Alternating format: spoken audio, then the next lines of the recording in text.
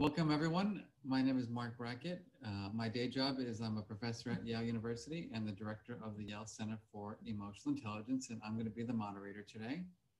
And uh, we're going to start off with introductions and a little bit of background on our panel. And I'm going to start with Karen Niemi from CASEL. So Karen, tell us a little bit about yourself and, and CASEL and the field of SEL. Okay. Uh, how much time do we have, Marc? Um, hi, everybody. Uh, nice to meet you. My name is Karen Niemi. I'm the CEO and president of CASEL. We're the Collaborative for Academic, Social, and Emotional Learning. Um, CASEL is a nonprofit, and we work from the state house to the schoolhouse across research to advance the evidence based for social emotional learning. Uh, we work at the policy level, at the federal and state uh, level, and also in practice in school districts implementing social and emotional learning and setting up models to serve as examples as well as developing tools and resources to help people do the work. Awesome. Thank you, Karen. And how about LaShawn? Oh, good afternoon, everyone. My name is LaShawn Routé Chatmon. I'm the Executive Director of the National Equity Project. We are headquartered here in Oakland, California. Um, we are also a nonprofit um, organization who um, works to build the capacity of leaders to transform their systems um, in education, um, to be places, to be resilient um, places of uh, thriving and excellence. Um, and yeah, I'll stop. There. All right. Thanks, LaShawn. And Susan Enfield. Hi, everybody. I am Susan Enfield. I'm in my ninth year serving as the superintendent for Highline Public Schools. We are a richly diverse school system uh, located just south of Seattle. When you land at SeaTac International Airport, you are actually surrounded by Highline. Thanks, Susan. And Brad Bernatek, please.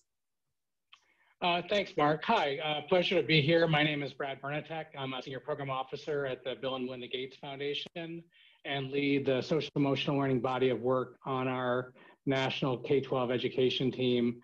Um, uh, SEL became a formal body of work for us a little over three years ago with the launch of our uh, current strategy.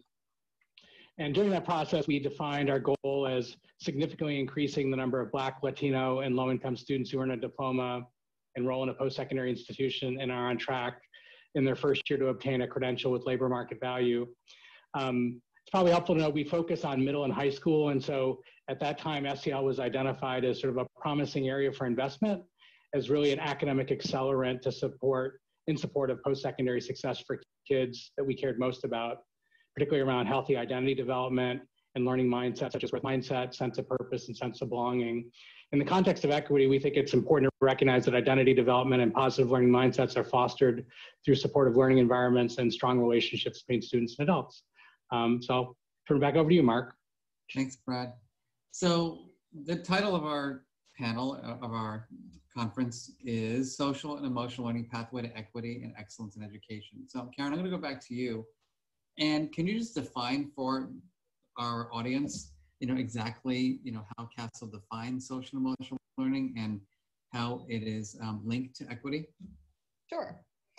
So, you know, formally speaking, social and emotional learning is thought of as the process through which all children and adults acquire and apply the knowledge, the skills, the attitudes to develop healthy identities, to manage emotions, to achieve positive goals, to feel and show empathy for others, and to establish and maintain supportive relationships and make uh, responsible and caring decisions with respect to equity, we believe that social and emotional learning advances educational equity and ex excellence through its focus on authentic school and family community partnerships and with an emphasis on learning environments that help to create the conditions in which kids can thrive, where adults understand their role and um, the integration of social and emotional learning into academic content.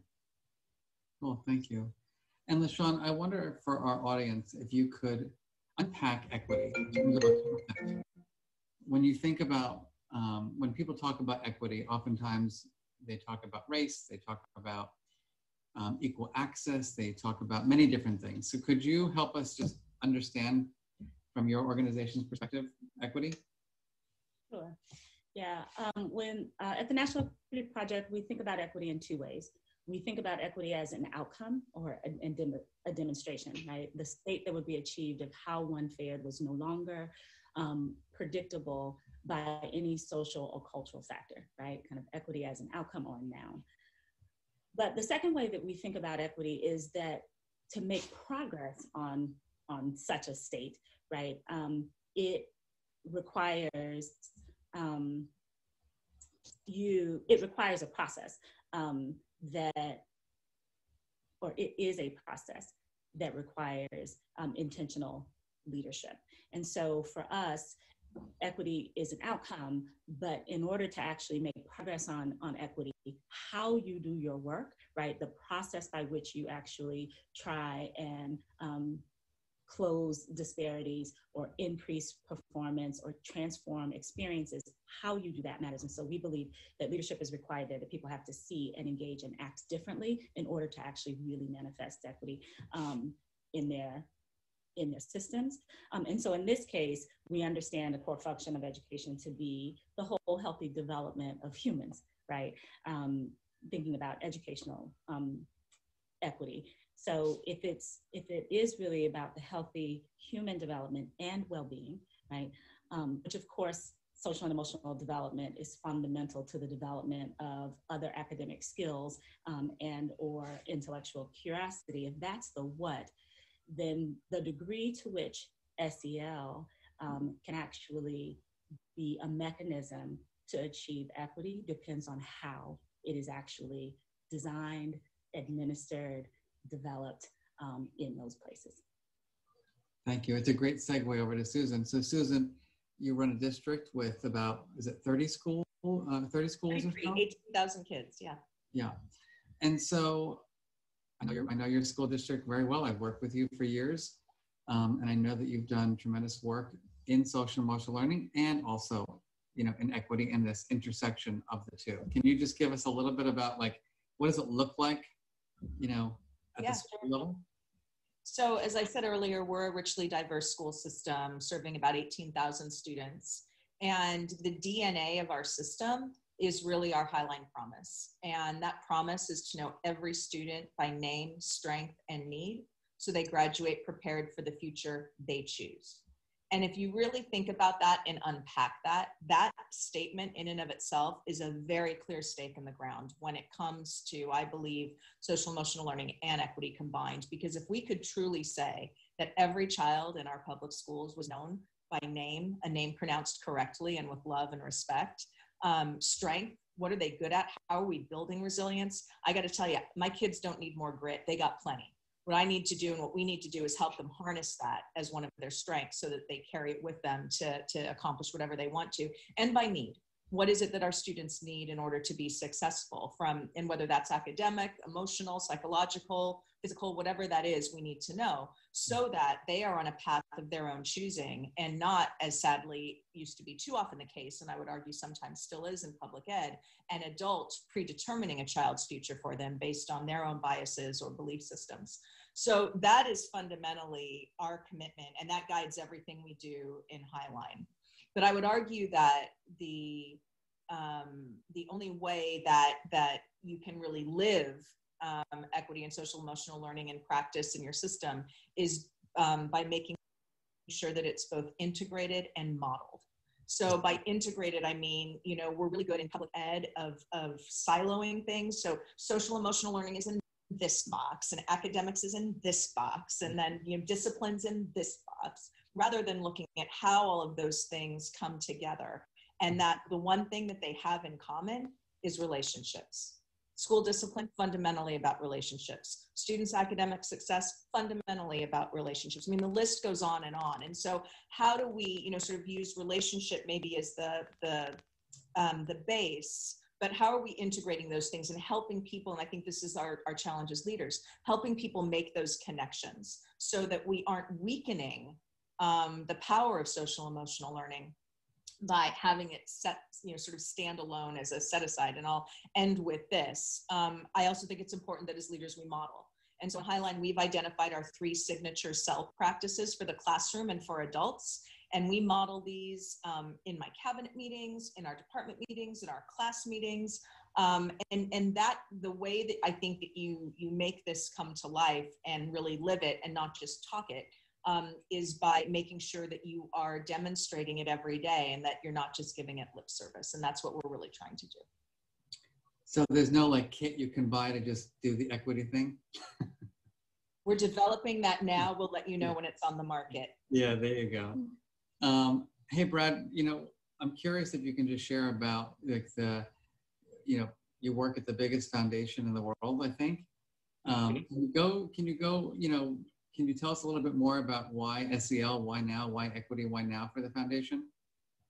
Sure, absolutely. So um, as I sort of touched on earlier, you know, you know, when we launched our current strategy again a little more than three years ago, um, uh, we, you know, we had an explicit focus on uh, Black, Latino, low-income students um, with a focus on middle and high school. So that's sort of where we started as our as our focus uh, for the K-12 strategy and and also in the context of post-secondary success so like our our focus has been around like what is you know you know what are the levers for increasing the number of black latino and low income students that are earning post-secondary degrees and that's really what led us to sel um, because you know you know given who we are we've been we've been been so focused on academics mm-hmm. you know our entire history um, as we were in the strategy development process it just became clear that sel uh, was really a promising area to look at uh, as it relates to academic progress, particularly around post-secondary success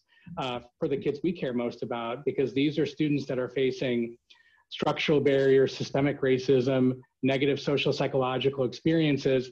And so that's why I was kind of touching on earlier that we really, when we looked across the field of SEL, which is broad and means a lot of different things to a lot of different people, we really anchored on, we're gonna focus on identity de development. We're going to focus on learning mindsets, growth mindsets, sense of purpose, sense of belonging. And in the context of equity, it's just really hard, important to remember that, you know, you don't, you, you don't develop uh, a sense of belonging, you foster it. And so that means it's really about the adults, it's about the, about the learning environment. So it really meant that um, we're obviously, you know, thinking about, you know, what we can do to foster those those experiences that, for students, but it really means the unit of action is more the adults and the and the learning environments. And to Susan's point earlier, the role of relationships uh, and and and uh, creating that environment. Um, and so it's interesting that when we started it three years ago, it was very exploratory, and since then, it has really taken off like wildfire. To be honest with you, it's we're seeing uh, the level of investment, uh, the level of demand and interest across the entire K-12 team team in terms of things like middle math, post-secondary pathways, networks for school improvement. Um, uh, the demand is just, it's, it's showing up everywhere in our work. Cool, thank you. So Karen, you know, having, you, you run the largest organization that really focuses on SEL, you have collaborative district work, you have collaborative states work where you're really trying to help people do this work well. I'm curious, like, what are the caveats that you want to for for schools, for large tech companies that are trying to build products that are infusing SEL into them? What are your like? What are some caveats that you that come to mind for you? Well, you know what I would say is probably our biggest concern is the misunderstanding and the overinterpretation of what, what SEL is.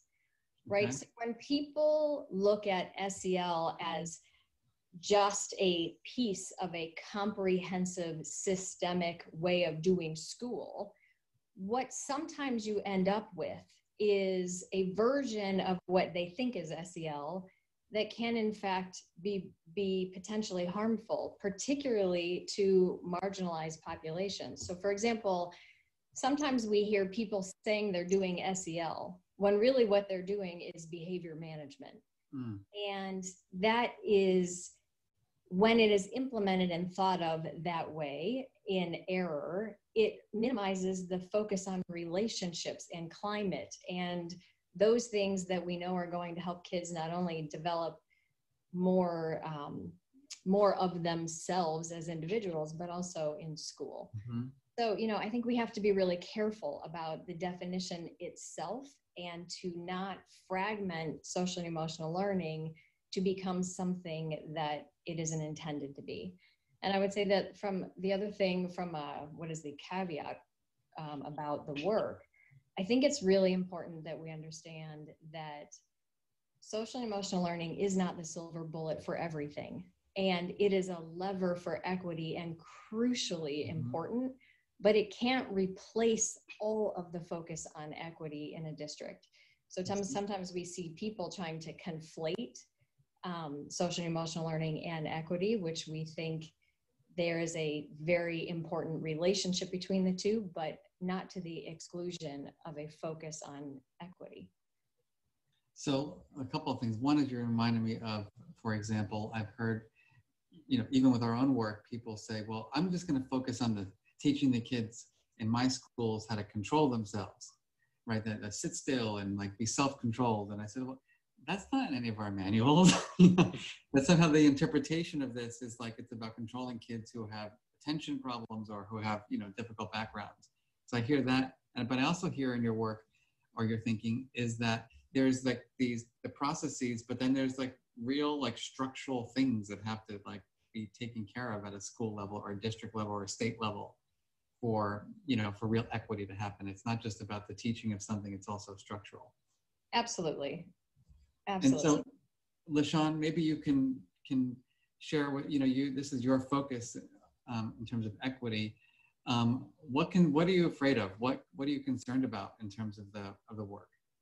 Yeah, I mean, I think that we I double clicked on several of the things that Karen said. I mean, I, and I'm, I'm reminded of um, a quote that historian and scholar Asa Hilliard used to say all the time, which is there are no pedagogical solutions. There are no pedagogical uh, solutions to political problems. Um, to, to just to suggest that um, kind of exactly in what in what Karen was talking about, we're trying we are using oftentimes we see districts and schools in particular use um, social emotional learning as a strategy um, to do a thing um, that is supposed to actually um, potentially resolve some larger um, equity or racialized set of outcomes. Um, and so naming what it actually is your set of strategies are supposed to produce is really an, an, important part. But I think there are several concerns. One is kind of the overdialing, which we see often um, on individual competencies um, and behaviors, right? And and this and compliance. Um, and under acknowledging the context and set of experiences young people are having in their learning environments, right? Coupled with a bias um, already that the only kind of trauma um, and disrespect and disregard that young people are experiencing are in their neighborhoods and in their homes as opposed to in their school buildings themselves and in their relationships with other adults in their learning environment um, is a is a dangerous proposition um, we believe. And and so one of the ways we think it's it's important to mitigate that is to understand and actually be um, be focused on some structures, looking at looking at the ways in which structures create healthy, positive relationships, affirming identity development, et cetera, et cetera. Um, and that one of the ways we know that is to actually center young people's experience, not just their academic outcomes. And so, how do we know how young people are experiencing us in the building we're in? I'll just I'll just double click on this because one of the ways that we do that in our networks is actually to bring young people forward to be on design teams co-creating change. And mm-hmm. we had a young a young woman who was um, on a panel in one of our district network meetings earlier this year, and we asked, "What do you wish your teacher?" She, was a recent graduate um, from high school. We asked her, "What did she wish her teachers needed to know?" And she said, "I wish all my teachers knew that I never had anyone to go to to share the guilt." and shame I felt for being different than everybody else in my school. And she went on to tell a story about having spent her ninth and 10th grade years eating lunch in a bathroom stall because it smelled, this is a Southeast, Southeast Asian student, because it smelled different, because people couldn't pronounce what it was, because people made fun of what it was, right? And so here she was in an environment making the grades, by the way, right which is part of part of what we have to do is kind of expand our definition and expand what we're actually measuring as as success um, with young people um, she was making good grades, but she said it wasn't until she had an Asian American history class that she felt like she could belong in that community, right? That it wasn't until she saw the inclusion of her history, um, of contributions, that people who look like her, who came from places that were like the ones that she came from, that she felt like she she belonged in that place um, and had a voice and could contribute more powerfully, and that that changed the trajectory of her entire high school experience. One mm-hmm. class with one teacher who said, We see you, you belong here. Here's your history. You know what I mean? And so mm-hmm. I just, we cannot underscore um, the ways in which our structures, our curriculum, our content actually move to the exclusion of young people's identity development um, and emotional development and sense of mm-hmm. belonging um, and the ways that that actually contributes to whether or not they want to behave well in school. Right. Thank you. You know, it's interesting because related, but it's a little separate, is somebody recently told me that um, there was a child being horrifically bullied in school and he was thrilled that he didn't have to be in school. Like actually remote learning was a blessing for him because, you know, he didn't have to deal, you know, with it. And it just makes you realize how little people know about children's experiences in school you know and and how we don't bring in people's authentic selves into the learning environment. We just oftentimes teach at as opposed to with. So susan um, my hunch is uh, over the nine years in your district like something's i mean i know that you're, you're perfect but um, something's had to go wrong so could you share like what do you like what do you what keeps you up at night around this work, you know, with you know SEL and equity and what might, you know, what might you share with other superintendents, you know, in terms of mistakes made that you don't want to see repeated? I'm not sure that you could hear my husband laughing in the background at the perfect comment. He begs to differ, but um, so yeah, I mean, there's there's so many lessons learned. Um, you know the the story that LaShawn just told is so powerful, and and I know we all have many of those um, from listening to what our young people tell us. Uh, let me start with where we are in the now, and then sort of uh, backtrack a little bit. So, um, you know, part of leading through a crisis is to identify opportunity and opportunities for change and growth, which can be very hard depending on how deep you are in the crisis. And you know, we have our, our Highline promise to know every student by name, strength, and need. And over the last nine years, we've really worked to operationalize that at scale and in fits and starts. And, you know, we had a whole child planning, we had several planning teams in the spring and summer, and we had a whole child planning team. And my charge to them was when we come back, however we come back in the fall, I want every one of our 18,000 students in Highline to have an adult in their school connected to them who checks in with them weekly and gets to know who they are. Mm-hmm. Now, you know, one of the pieces of pushback I got from some folks is, well, we know all of the kids in our building. Mm. And I respectfully responded, I bet you do know most of them.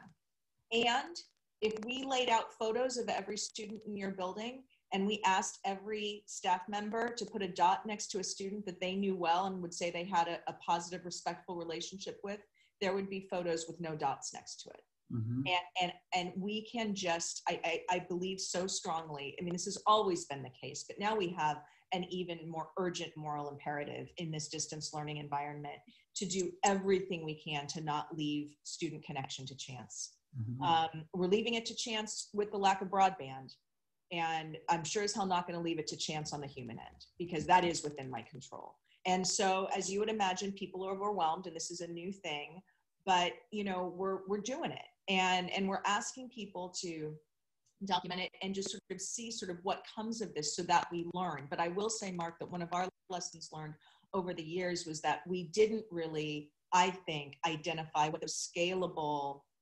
systems were that we needed to really fight to put in place mm-hmm. to make sure that we're delivering on that promise for every kid um, and i think the only other thing that i would would say is um, like most people like everyone on this screen and most people in public education, I am unapologetically pro kid, right? We talk about being on team kid, but you can't be on team kid at the expense of the adults serving them. And I think it's really important that, and I think some days the challenge for us as leaders is how do we keep the needs of our children and young people at the forefront without sacrificing the well-being of the adults who are serving and supporting them. And that, I would argue, is also more of a challenge and more important ever before today. You know, you're reminding me of is, you know, as over the last five years, we have built, you know, a trauma-informed approach for the adults. And in doing that work, what we have found is that oftentimes we are unaware of how activated teachers are, right? Because they've had their own traumas they haven't managed well. And then we're asking them to do something that activates them, you know, because they haven't had the opportunity to actually cope with or learn strategies, you know, to deal with their own circumstances. And Marc, I would argue too that the story LaShawn shared, I'm sure that that teacher, upon learning what that young person was going through, felt horrible. I would be, I would be, my soul would be crushed mm-hmm. if I mm-hmm. knew that one of my students was living that reality and feeling so disconnected. And, and so you're right. I mean, it's the trauma we bring from our own stuff and it's what we have to deal with on a daily basis in, in realizing the realities of our children. I would just double click. Oh, I'm please, sorry. go ahead. I would, I would, just I, I would just connect those, right?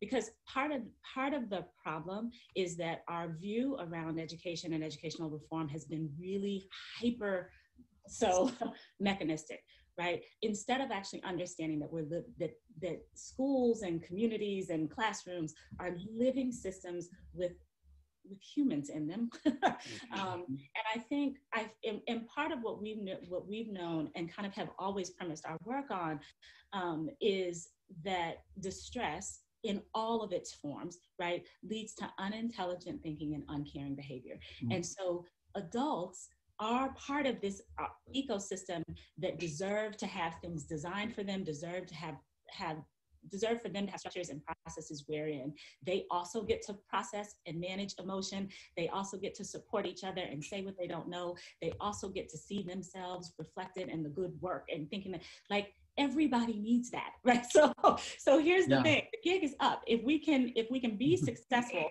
with with everybody's understanding that learning is a social and emotional endeavor, period, right?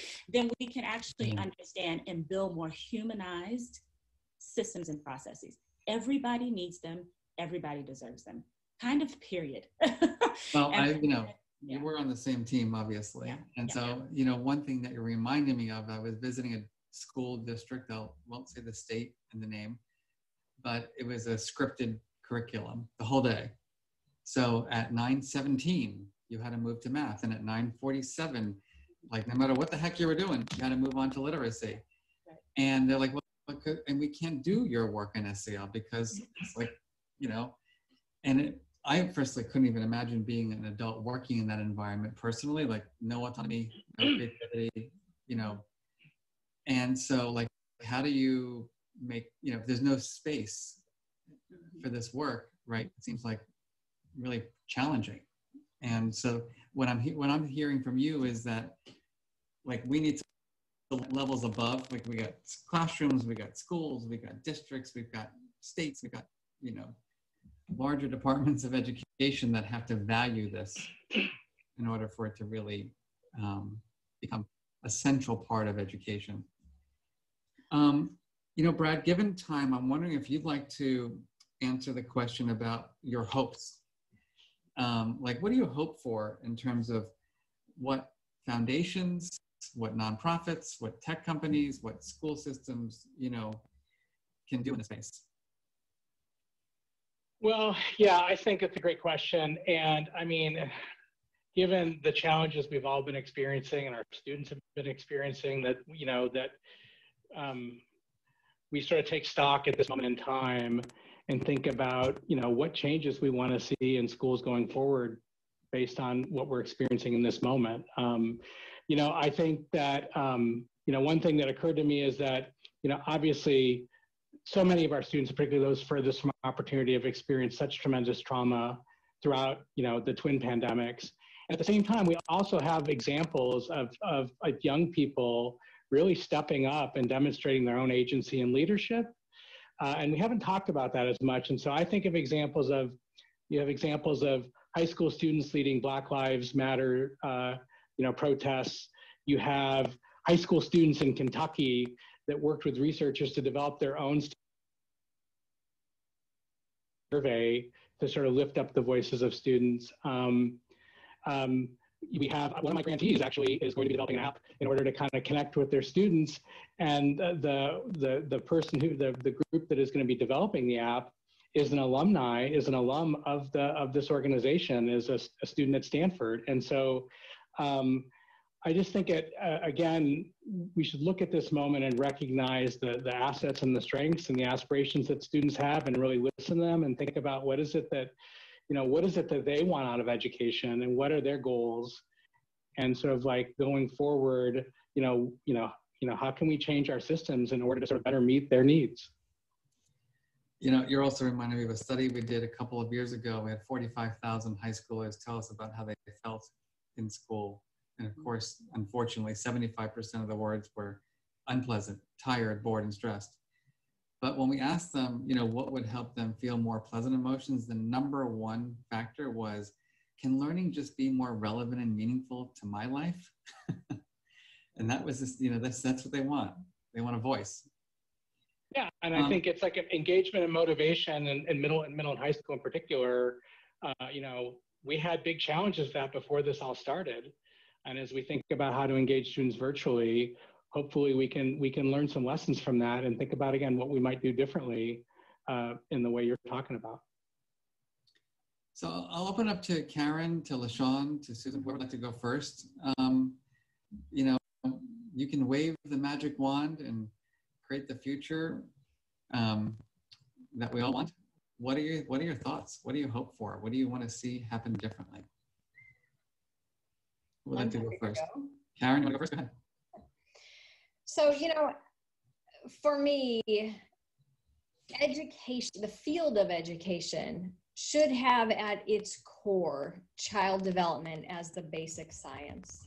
And if we were to take a more holistic view, a more child development oriented view of education, our policies and our schools would then reflect a more holistic view that equally prioritizes the emotional, the social, the cognitive development of kids. And when we do that, they won't only do better in school, but these issues, not only of equity, but specific of race and racism, have a chance of being addressed. Mm-hmm. And I, I look forward to those days. Thanks, Karen. LaShawn, would you like to go? Um, sure. I'm, I, hmm. You know, I'm thinking about um, James Baldwin wrote a talk to teachers in 1963. Mm-hmm. Uh, in 1963, he started that talk by saying we're living in revolutionary times. Um, and to any citizen of this country who figures him or herself responsible, um, and particularly those who deal with the heart and hearts and minds of children, need to be prepared to go for broke and I feel like we're in a moment where I'm I shouldn't be astounded, but I feel astounded that we are still trying to actually argue the proof of science about like what young people need to grow, learn, and thrive. Um, and part of what I think I'm hopeful of is with every, with all of the inequity and all the racial reckoning and all of the things that are unfolding, um, we're kind of beyond the moment of plausible deniability about whether or not race and racism or, or white supremacy has has has um, kind of permeated um, our most public um, structures that are worth fighting for. And I think the go for broke um, kind of state needs to be um, in, in just infuse. Um, we have to understand that we are not doing favors to Black, Brown, and poor children by actually ensuring that they are in learning environments where they experience um, success and belonging and care um, and affirmed affirmative identity. Um, we are not doing that for them. We are doing this for all of us. Mm-hmm. And and until we actually understand that our fates are indeed inextricably linked, we it will be to our peril. And I don't mean that to be provocative. I kind of mean that literally. Like, look at where we are right now. Like we actually need each other. And if we do not understand that changing and expanding the goals of this system to include something other than, than academic gain um, and, um, and financial security, if we, if we do not expand the goals of this system to be about wellness, we are going to be in trouble as a nation. Thank you for that. I think one thing that you know that you sparked in my brain, you know, and the way you frame things is is equity is about um, it's not about the people who have greater power kind of letting the other people have more power, which is a mindset I think that a lot of people have. It's like we're you know that's it's does that resonate with you in terms of like that shift in mindset? Yeah, I, th- I think so. I mean, I think part of what you're describing is potentially a tactic, right? Not an outcome of, uh, uh, well, it might be a tactic, but yes, I understand what you mean, right? Equity is about all of us. Yeah. Like, it is, you know, Angela Blackwell talks about it as the superior growth model. Like, it's good for everybody when it's actually working for all, for, for the least of us, right? And, and so, um, but, But I don't believe there's not enough demonstration of proof of that. And so, yeah, yes. And, you know, power doesn't concede anything without demand. We know that, which is which is why we can't instructional strategy our way to actually having a more equitable and just set of institutions or nation, right? Um, and so there is kind of there that we're in a wrestle right now. I'd argue we're in the rest we're in a wrestle um, and a fight for the soul and identity of this nation. Who are we? Who are we going to be in this moment? Is what's at stake. It's so much bigger than any any reform effort, right? Um, and yet our efforts actually have to be aligned, I think, to a more a more broad um, and inclusive vision of the world that we actually want to live in. Thank you. I want to. I I actually want to just end there, but we can't. So I'd like that as a as a final word. Um, I want to make sure that people are asking questions. We I typed it into the chat room, but I haven't seen any questions yet. So we have seven minutes left. So if you have ideas that you want our panel to um, to flesh out or embellish, please uh, type them in.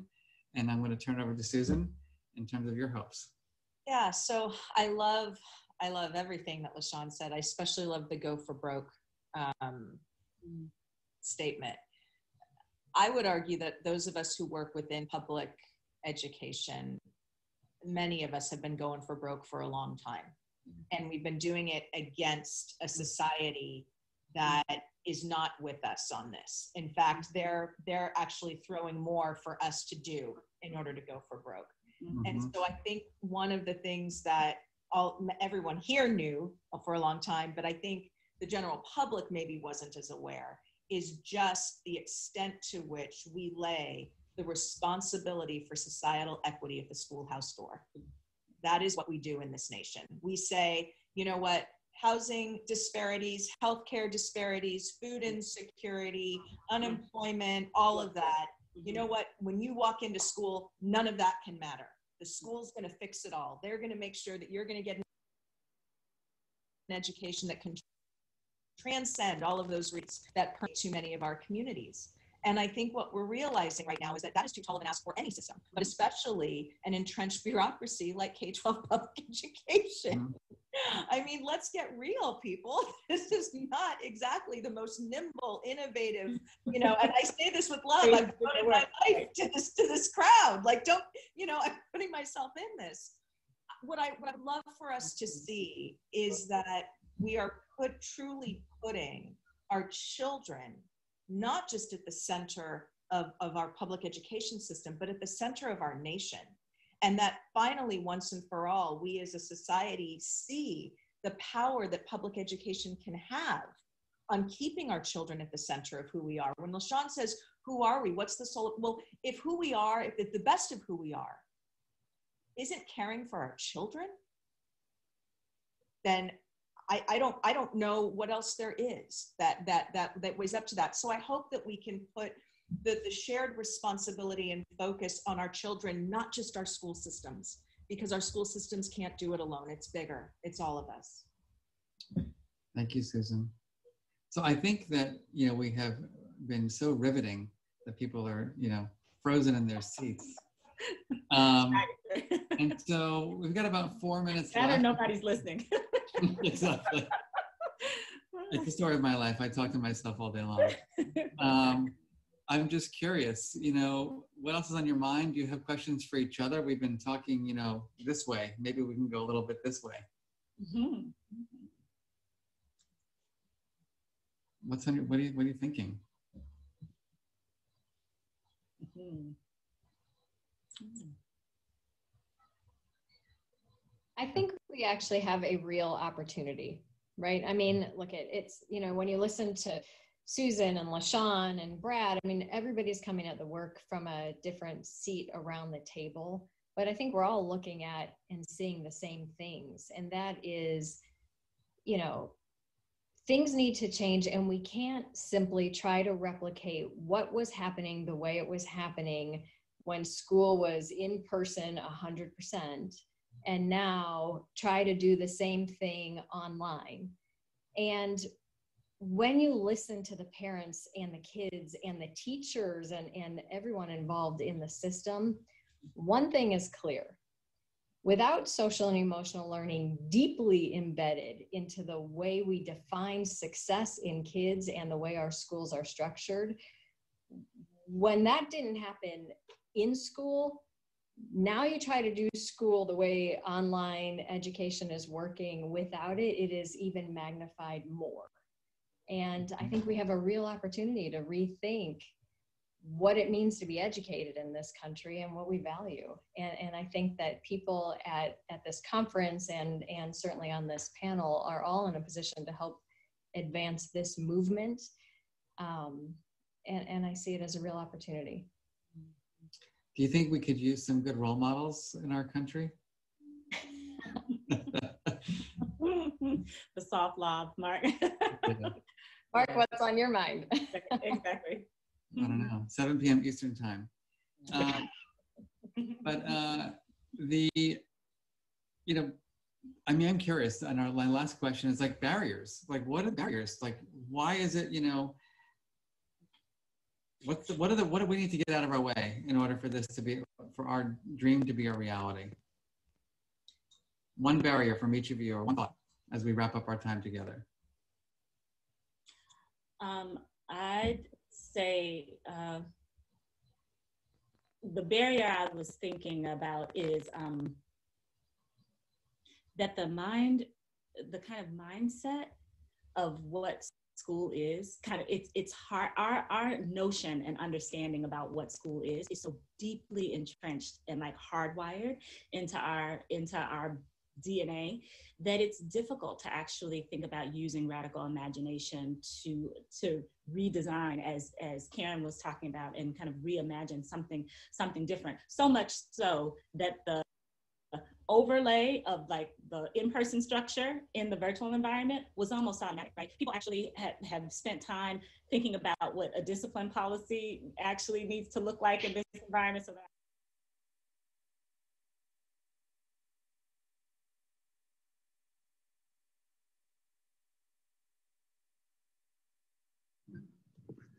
Welcome back, everybody. Um, thank you.